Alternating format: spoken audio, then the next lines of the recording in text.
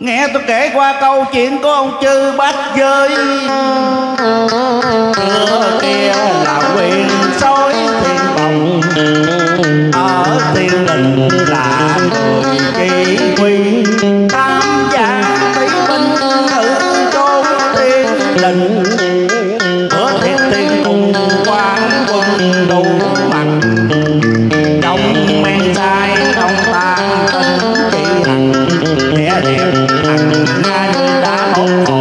hồn Kiên văn anh hùng phải đi vào thân Không còn nghe nga đâu lên ngồi gì Đó mặt tía tay nổi cạnh lôi tình.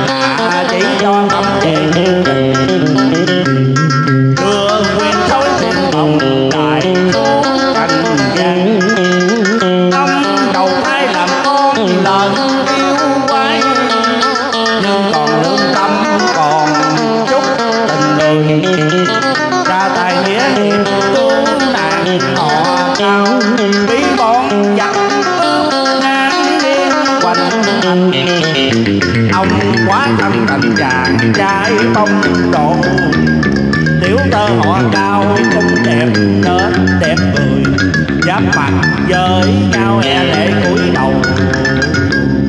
Ông tơ quyền lão chắc đã sẽ chuyện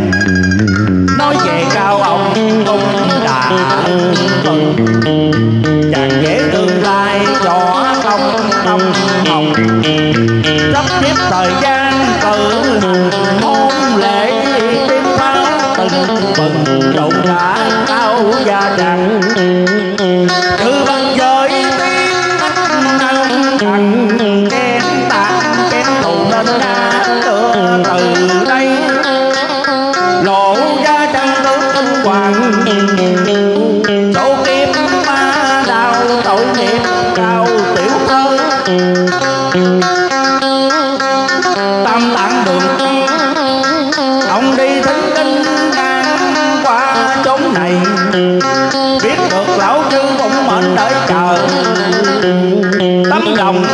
từ bi nên ông chấp nhận tu nạp tiên đệ tử, tư ai bắt giới tạ ơn, dập đầu cuối lại, đem hết sức mình lo cho thương phụ đồng nguyện phật đà tâm đại gửi chẳng trang đường đi tính tình xa xôi nhiều dọc ngang không lo phục vụ. Tăng tính gian nhân lòng còn chưa dứt.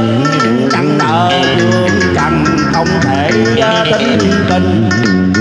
Cướp đường tăng giáo quân tặng thượng kết quả cuối cùng cũng về đến tây